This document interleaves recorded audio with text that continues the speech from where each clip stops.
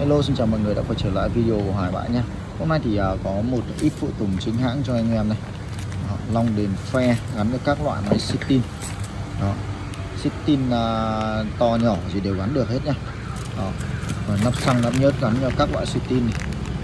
Hàng chính hãng này có nhé. Đó, anh em nào có nhu cầu đặt hàng thì liên hệ qua số điện thoại giúp em. Đó, nắp nhớt này.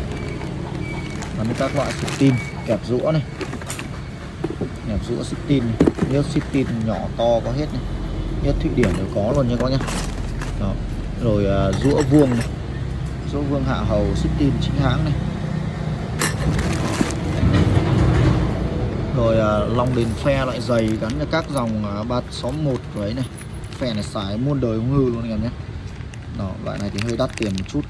Nhưng mà gắn vào một các 382 250 đồ thì nói chung không thể nào mòn không thể nào mà nó hư được nhá. Đó Đó, có cả phe này. Rồi có tay nắm giật lớn này gắn được các dòng 382 250 này. Giật bao không bao giờ hư chó giật này.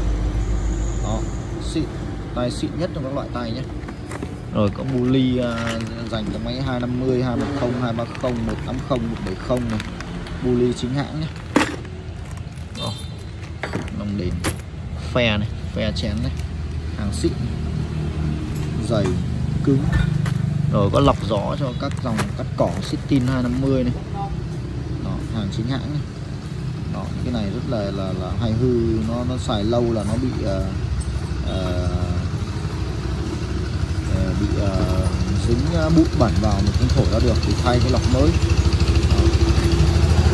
rồi có Fuji uh, Fuji xích gắn với các dòng uh, máy cưa xích ờ, uh, Estin đắt tiền.